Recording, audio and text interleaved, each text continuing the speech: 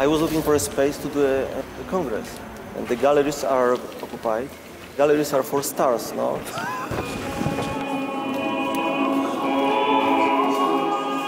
the idea to, to go in church with this feeling, be careful, forget the fear, but be careful, it's a good combination. I think that's the kind of message of the Congress, to communicate, to express yourself. Finally, there are no conflicts here, or the conflicts makes this space more interesting.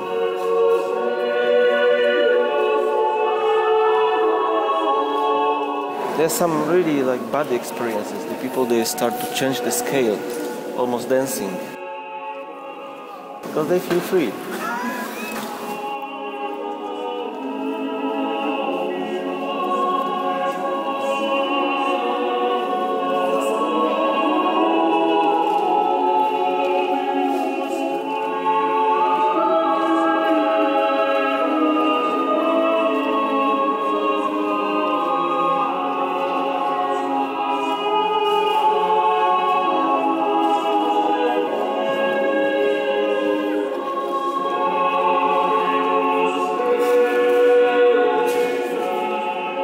They call me artist.